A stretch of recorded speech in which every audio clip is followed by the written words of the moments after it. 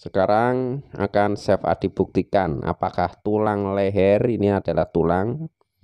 Kita remet apakah sudah empuk. Bismillahirrahmanirrahim. Mudah-mudahan berhasil ya pemirsa dan sahabat-sahabat dan mitra-mitra kami yang menyaksikan video burung presto atau malon presto. Ini juga kemarin menjawab pertanyaan Pak Jasuli mitra kami di Wonosari ya kepengen sekali untuk membuat burung presto malon presto ya. Oke kita remet. Alhamdulillah Pak. Ini sudah sangat empuk. Ini tulang loh ya. Tulang ya bukan daging ya. Sudah sangat-sangat empuk ya. Sampai bisa untuk apa? Membuat bergedel karena saking empuknya ya. Sudah terbukti untuk bagian tulang leher sudah empuk ya. Mana tadi? Bagian kepalanya. Ini bagian kepalanya apa juga empuk? Saya remet. Iya empuk dan rapuh sekali ya.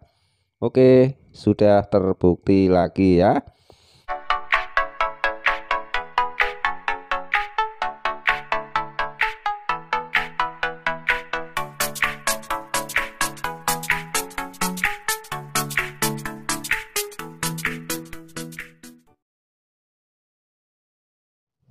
Bismillahirrahmanirrahim.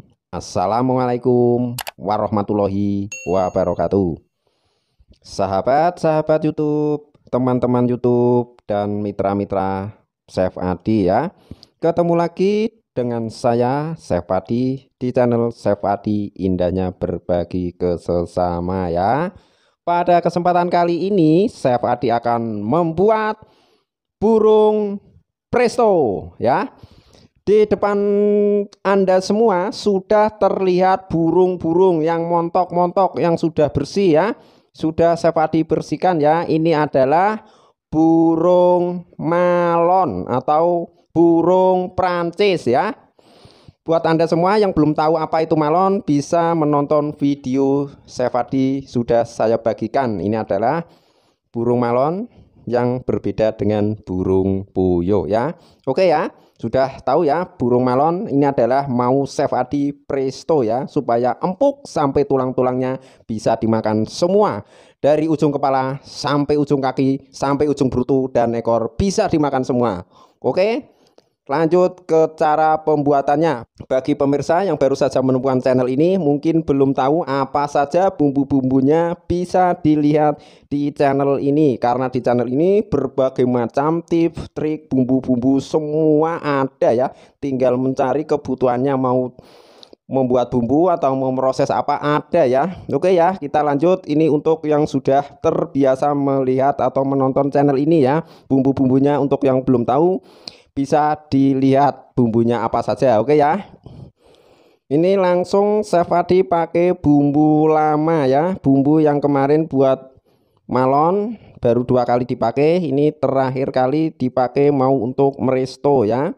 Ini adalah bumbu lama. Bagaimana caranya? Bumbu lama bisa dibuat untuk masakan baru. Kita tambahkan sedikit bumbu-bumbu seperti lengkuas kunyit jahe yang sudah dihaluskan ya seperti ini ya. Kita tuang. Kalau untuk para mitra Bandeng Presto 76 pasti sudah tahu ya sudah sangat paham. Ini adalah bumbu lama. Bumbu lama yang saya tambahkan sedikit bumbu lagi agar rasanya maknyus agar rasanya mantap ya Oke langsung kita tambahkan daun salam daun jeruk serai yang sudah dimemarkan. Kita tambahkan satu sendok gula pasir. Kita tambahkan kaldu penyedap sesuai selera. Saya mau pakai 6 sendok untuk 30 ekor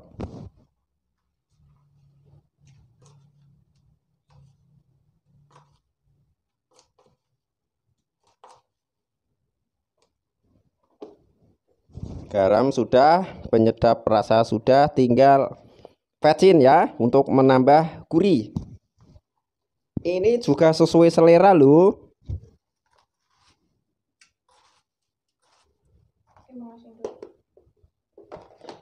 bumbu-bumbu rempah sudah masuk semua. Kita aduk sampai merata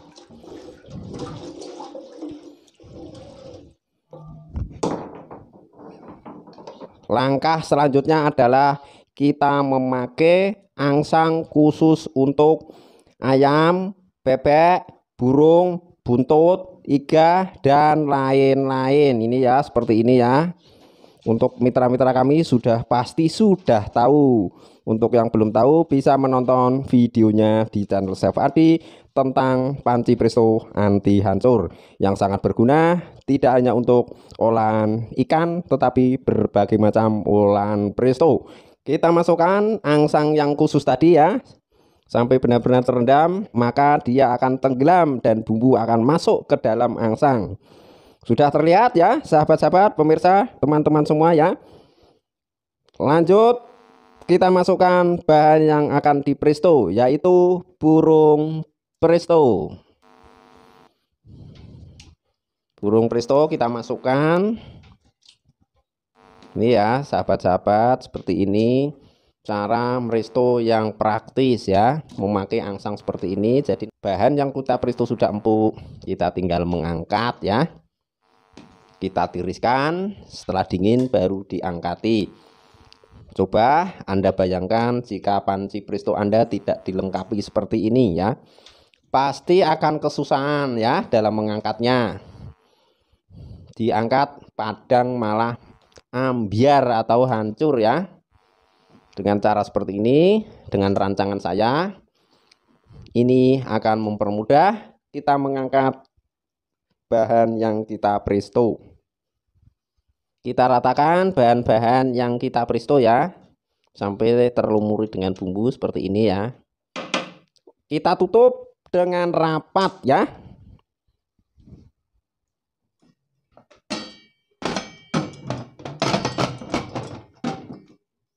Setelah bibir panci presto benar-benar sudah terap dengan posisinya kita putar ya sudah pas posisinya ya. Kita tinggal kunci sampai benar-benar kuat. Oke langsung kita naikkan ke atas kompor ya. Kita masak. Ini bumbunya masih es para mitra bumbunya masih es terasa dingin ya. Jadi bumbu lama bisa dipakai tiga kali. Ini Safadi akan meresto burung malon dengan kompor tekanan tinggi ya kompornya sangat besar ya. Jadi nanti kira-kira 15 menit sudah berputar peluitnya ya. Oke langsung Chef Adi besarkan apinya ya. Oke apinya sangat besar ya. Kita tunggu sampai peluitnya berputar. Nanti setelah berputar apinya kita kecilkan. Oke terlihat peluitnya sudah berputar ya sudah berputar dengan kencang kedua-duanya. Kita kecilkan apinya sampai peluit berputar pelan saja. Oke seperti ini ya. Peluit tetap berputar tetapi pelan-pelan saja. Oke waktu berdesis dari peluit berputar sudah tiga jam ya. Kita langsung matikan. Setelah kompor kita matikan ini penting untuk diperhatikan pemirsa dan sahabat-sahabat semua. Kita jangan langsung membuka panci prestonya ya. Kita harus buang uap panasnya dulu dengan cara seperti ini ya. Kita ambil. Nah. Tunggu sampai uapnya habis asapnya. Setelah uap habis nanti kita baru boleh membuka kalau uap masih banyak kita buka. Itu yang mengakibatkan panci presto meledak ya. Ini suara desisan semakin lama semakin lemah menandakan bahwa akan segera habis uap panas di dalam panci presto sebentar lagi kita buka ya. Ini tinggal sisa sedikit ini sudah mau habis. Langsung kita buka. Dan ini akan aman dijamin tidak akan meledak ya. Karena gas atau uap panas di dalam panci presto sudah keluar semua sudah tidak ada tekanan artinya.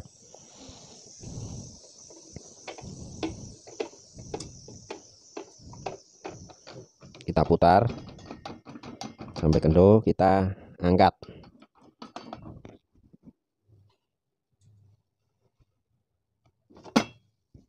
Oke kita angkat burung prestonya karena ini masih panas pemirsa dan sahabat-sahabat semua saya sarankan menggunakan pengaman ya. Bisa menggunakan sarung tangan seperti ini ya. Nah ini ini mempermudah waktu kita angkat. Kita bisa membayangkan kalau panci presto yang tidak dilengkapi dengan ini. Kita tiriskan biar dingin dulu. Lihat warnanya kuning dan cantik-cantik ya ini kok di kamera jadi putih ya padahal ini warnanya kuning cantik loh mungkin karena pengaruh flash ya sahabat-sahabat dan pemirsa ya ini flash lampu di kamera jadi terlihat putih. Padahal ini kalau aslinya itu warnanya kuning cantik. Kita tunggu kita tiriskan sampai benar-benar dingin. Nanti kita coba tulangnya apakah benar sudah empuk. Oke, setelah burung presto kita tiriskan, ini sudah dingin ya, sudah saya kipasi. Mari kita uji coba bersama-sama apakah tulangnya sudah benar-benar empuk dalam waktu 3 jam ini tadi proses prestonya 3 jam setelah fluid berputar. Mari sahabat-sahabat, pemirsa dan mitra-mitra kami ya, kita bersama-sama untuk membuktikan apakah tulangnya sudah empuk sampai ke dalam ya saya ambil yang paling atas ya. Ini ya. Tetap utuh ya. Tidak hancur ya. Badannya masih utuh tidak ada yang hancur. Oke. Untuk uji coba ini satu ekor akan saya rusak ya. Coba saya ambil kepala dan lehernya ya. Oke sekarang akan Chef Adi buktikan apakah tulang leher ini adalah tulang. Kita remet apakah sudah empuk. Bismillahirrahmanirrahim. Mudah-mudahan berhasil ya pemirsa dan sahabat-sahabat dan mitra-mitra kami yang menyaksikan video burung presto atau malon presto. Ini juga kemarin menjawab pertanyaan Pak Jasuli mitra kami di Wonosari ya kepengen sekali untuk membuat burung presto malon presto ya. Oke kita remet. Alhamdulillah Pak. Ini sudah sangat empuk. Ini tulang loh ya. Tulang ya bukan daging ya. Sudah sangat-sangat empuk ya. Sampai bisa untuk apa? Membuat bregedel karena saking empuknya ya sudah terbukti untuk bagian tulang leher sudah empuk ya. Mana tadi? Bagian kepalanya. Ini bagian kepalanya apa juga empuk? Saya remet.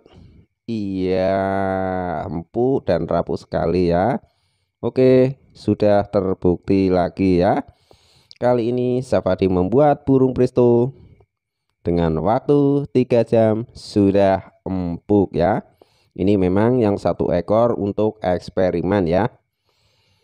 Oke, tulang mana lagi yang perlu diuji coba sahabat-sahabat? Ini ya, juga tulang bagian kakinya ya. Coba ya. Kita patahkan. Iya, rapuh sekali ya. Iya, oke ya. Coba tulangnya, tulang yang paling keras adalah di bagian kaki. Coba kita remet apakah bisa rapuh, bisa empuk ya. Kita buktikan bersama-sama. Terlihat sudah? Sudah sangat jelas? Oke ya, kita remet. Iya tuh ya. Sangat-sangat hancur ya. Ini tulang yang paling-paling bandel paling-paling keras adalah di tulang bagian kaki ya. Oke sudah terjawab bahwa malon ataupun burung presto di presto dengan panci presto 76 hasilnya utuh-utuh tidak ada yang hancur bagus-bagus dan tulangnya empuk bisa dimakan tanpa ada yang dibuang ya tanpa pembuktian Anda tidak akan percaya ya. Jadi setiap Sevadi membuat olahan presto pasti dibuktikan dengan detail ya. Semoga bisa memuaskan request mitra kami juga bermanfaat untuk sahabat-sahabat untuk para pemirsa semua. Nantikan video-video yang akan datang. Terima kasih Assalamualaikum warahmatullahi wabarakatuh